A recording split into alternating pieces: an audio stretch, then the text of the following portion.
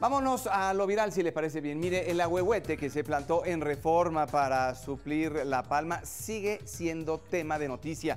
Ahora, un hombre fue detenido por policías aquí en la Ciudad de México porque ingresó de manera ilegal a la glorieta y colocar, como estamos viendo, cemento alrededor del tronco plantado la semana pasada. Se percataron a través de las cámaras de videovigilancia, observaron a un hombre que ingresó a la glorieta ayer cerca de las 2 horas con 48 minutos.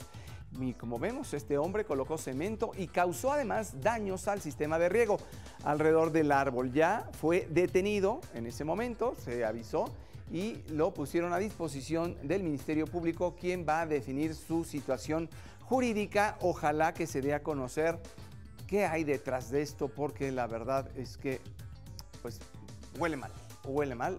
Eh, no, no debería de pasar este tipo de incidentes en algo que ha sido tan controvertido.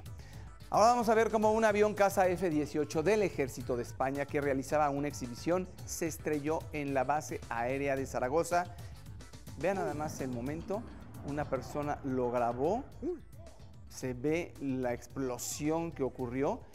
Y bueno, pues esto como les decía fue en la base aérea de Zaragoza, en eh, España. Aquí la buena noticia es que, es el, que el piloto logró salir, se encuentra con vida consiguió eyectarse a tiempo y se salvó de milagro porque tal como se muestran las imágenes, el avión cayó solo en unos segundos de picada.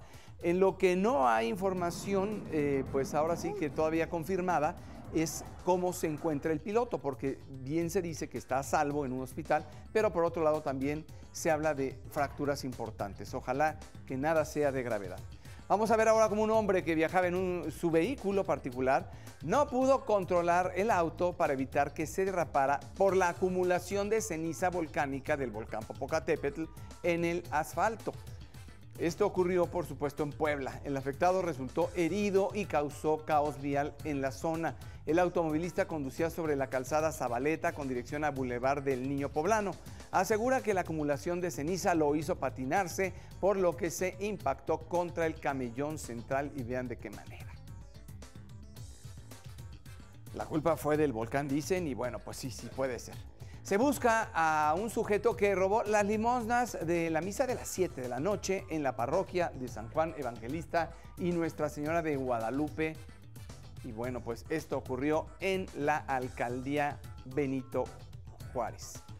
Eh, pues las cámaras de seguridad captaron este momento. Vean nada más cómo la persona está ahí pues con toda tranquilidad, toma la urna, se retira y están eh, pues de alguna manera pidiendo ayuda a la población si alguien pudiera reconocer a pesar de lo complicado que es con una capucha y cubrebocas identificar a alguien, reconocer a esta persona para que no vuelva a pasar. Ahí está la denuncia y aquí se las damos a conocer. Es momento de hacer una pausa, tenemos más información. Recuerde que puede suscribirse a nuestro canal de YouTube, ahí lo esperamos también. Volvemos.